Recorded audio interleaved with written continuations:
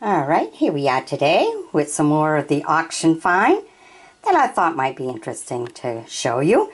So I put a few of the pieces together to kind of give you like an ocean type design when you're home decorating and stuff. We had the bottle in the ship.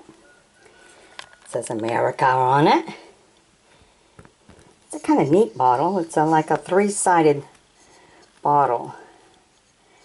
It's kind of like they uh, painted the blue for the water or the sky. They have the water down there and stuff. And then we had this mushroom uh, thing here with some fake flowers in it. So we kind of paired that up together because of the blues. And then of course, you know, whenever you have an ocean uh, thing, you need a shell. So to offset the big right here, we added another big right there.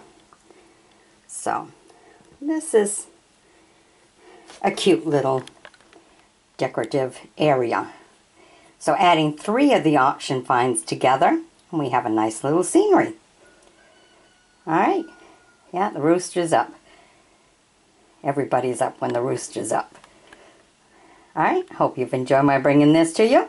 Stay tuned for more because we have some more auction finds that will combine things together to help you decide how you want to decorate your home.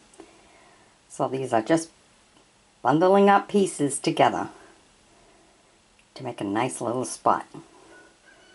Alright, bye-bye now.